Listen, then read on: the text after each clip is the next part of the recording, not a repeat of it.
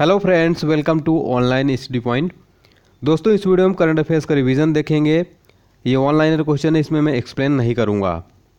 और दोस्तों, मैं अन अकेडमी पर ही पढ़ाता हूँ तो आप अन अकेडमी का लर्निंग है प्ले स्टोर से डाउनलोड कर लीजिए। उसमें ऑनलाइन स्टडी पॉइंट सर्च करके फॉलो कर सकते हैं। दोस्तों, मैं अपने अन अकेडमी प्रोफ़ाइल की लिंक इस वीडियो को डिस्क्रिप्शन बॉक्स में भी दे दिया हूँ तो उस लिंक पर डायरेक्ट क्लिक करके फॉलो कर सकते हैं। और वहाँ पर करंट अफेयर्स की वीडियोज़ बनाए हो आप बिल्कुल फ्री में देख सकते हैं। तो चलिए स्टार्ट करते हैं वीडियो वीडियो अच्छा लगे तो लाइक शेयर ज़रूर करें, चैनल को सब्सक्राइब कर लें। पहला क्वेश्चन है, किस देश को हाल ही में युवा ओलंपिक खेलों का आयोजक चयनित किया गया है?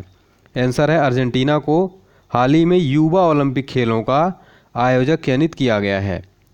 नेक्स्ट क्वेश्चन है, किन्हें हाल ही में राष्ट्रीय कार्मिक प्रबंधन संस्थान के एनआईपीएम रत्न पुरस्कार से नवाजा गया है? उत्तर है, डॉक्टर तपन कुमार चंद को हाल ही में राष्ट्रीय कार्मिक प्रबंधन संस्थान के एनआईपीएल रत्न पुरस्कार से नवाजा गया है डॉक्टर तपन कुमार चंद को। नेक्स्ट क्वेश्चन दोस्तों, हाल ही में सुप्रीम कोर्ट के मुख्य न्यायाधीश का पदभार किसने ग्रहण किया है? तो इसका उत्तर है जस्टिस रंजन गोगोई। ये बहुत महत्वपूर्ण क्वेश्चन है, आपके आगामी एग्ज़ाम से ज़रूर पूछा जाएगा। तो इनको हाल ही में सुप्रीम कोर्ट का मुख्य न्यायाधीश पदभार इन्होंने ग्रहण किया है, ये स्थान लिया दीपक मिश्रा जी का, ठीक है? दीपक मिश्रा जी इससे पहले थे। अब हो गए हैं वर्तमान में जस्टिस रंजन गोगोई जी। ठीक है दोस्तों तो बहुत महत्वपूर्ण क्वेश्चन है। इसके अलावा यदि आप रेलवे ग्रुप डी एग्ज़ाम की तैयारी कर रहे हैं और आपका एग्ज़ाम है भी रेलवे ग्रुप डी का तो आपके लिए एल बुक पॉलिसर द्वारा करंट रिवीजन नोट्स तैयार किया गया। उसमें सारे सेक्शन आपको कवर हैं। लिंक आपको वीडियो को डिस्क्रिप्शन बॉक्स में मिल जाएगा। मात्र तीस रुपये की बुक है, आप परचेज कर सकते हैं। अगला क्वेश्चन है, हाल ही में महानिदेशक एयर यानी ओपीएस के रूप में कार्यभार किसने संभाला? एयर मार्शल अमित देव हाल ही में महानिदेशक एयर, यानी ओपीएस के रूप में कार्यभार संभाला है। अगला प्रश्न है, वह स्थान जहाँ भारत, ब्राज़ील, दक्षिण अफ्रीका की नौसेनाओं के बीच संयुक्त बहुराष्ट्रीय सामुद्रिक अभ्यास, I B S S R आयोजित किया जा रहा है सीमंस टाउन में। अगला क्वेश्चन है, वह राज्य जिसे स्वच्छ सर्वेक्षण ग्रामीण पुरस्कार दो का सर्वोच्च सम्मान मिला है। उत्तर हो जाएगा हरियाणा। हरियाणा को हाल ही में स्वच्छ सर्वेक्षण ग्रामीण पुरस्कार दो में सर्वोच्च सम्मान मिला है। अगला प्रश्न दोस्तों, वह भारतीय मूल की महिला अधिकारी जिन्हें अंतर्राष्ट्रीय मुद्रा कोष के मुख्य अर्थशास्त्री नियुक्त किया गया है, गीपा, गीता गोपीनाथ को।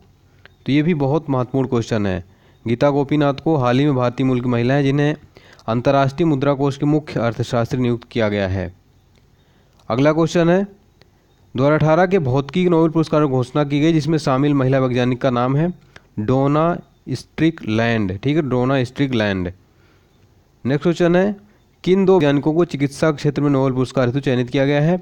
जेम्स पी एलिसन और तासकू होंजो। ये भी बहुत महत्वपूर्ण क्वेश्चन है, नोबेल का पुरस्कार हर एग्ज़ाम में पूछा जाता है।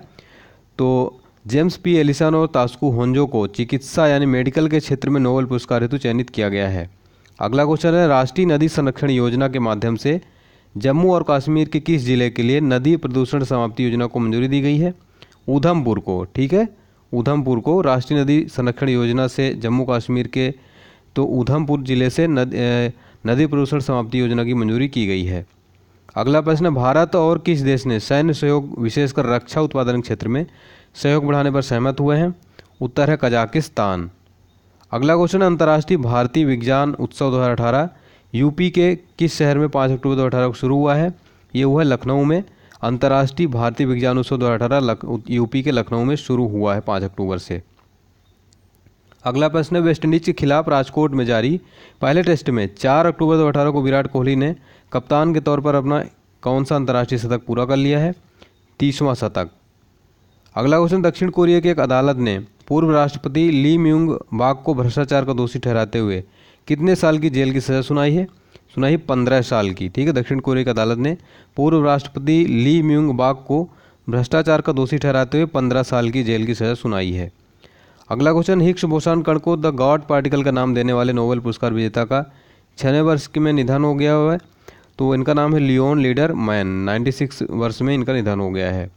हाल ही में सरकार द्वारा यात्री के चेहरे और बायोमेट्रिक से एयरपोर्ट पर एंट्री करने की सुविधा जारी की गई है। इस सुविधा का क्या नाम है? डिजी यात्रा नाम है। अगला क्वेश्चन है, भारत की यात्रा पर आए रूस के राष्ट्रपति व्लादिमीर पुतिन के साथ प्रधानमंत्री मोदी जी ने कितने समझौतों पर हस्ताक्षर किए हैं? जो किए हैं आठ समझौतों पर हस्ताक्षर। अगला क्वेश्चन है, भारतीय मूल की वह अधिकारी से हाल ही में ट्रंप प्रशासन द्वारा अमेरिकी परमाणु विभाग का प्रमुख नियुक्त किया गया है, रीता बर्नवाल को। भारतीय मूल के अधिकारी इनको हाल ही में ट्रंप प्रशासन द्वारा अमेरिकी परमाणु विभाग का प्रमुख नियुक्त किया गया, रीता बर्नवाल को। अगला क्वेश्चन है, दो वर्ष 2018 के नोबेल शांति पुरस्कार के लिए इस यजीदी दुष्कर्म पीड़िता को संयुक्त रूप से कांगो के डॉक्टर मुगवेदे के साथ चयनित किया गया नादिया मुराद को। इनको शांति का नोबेल पुरस्कार मिले। डॉक्टर मुगवेदे के साथ नादिया मुराद को। ये भी बहुत महत्वपूर्ण क्वेश्चन है। भारतीय कानूनी सेवा प्राधिकरण के कार्यकारी अध्यक्ष रूप में किसे नियुक्त किया गया है? मदन भीमराव को। ठीक है, मदन भीमराव को भारतीय कानूनी सेवा प्राधिकरण के कार्यकारी अध्यक्ष रूप में नियुक्त किया गया है। तो ये थे दोस्तों मोस्ट इंपॉर्टेंट क्वेश्चन इस वीडियो की पीडीएफ फ़ाइल के लिए। हमारे टेलीग्राम चैनल को ज़रूर ज्वाइन करें। लिंक आपको वीडियो को डिस्क्रिप्शन बॉक्स में मिल जाएगा। इसके अलावा मैं पूरे सप्ताह भर का करंट अफेयर्स को नोट्स अपने टेलीग्राम चैनल पर पोस्ट कर दिया हूँ तो फटाफट ज्वाइन कर लें। लिंक डिस्क्रिप्शन बॉक्स में मिल जाएगा। उसके अलावा हमारे इंस्टाग्राम पेज को ज़रूर लाइक कर लें। फेसबुक पेज को लाइक कर लें। इंस्टाग्राम पर फॉलो कर लें। वहाँ पर भी डेली अपडेट्स पोस्ट करता हूँ। ठीक है तो मिलते हैं नेक्स्ट वीडियो के साथ।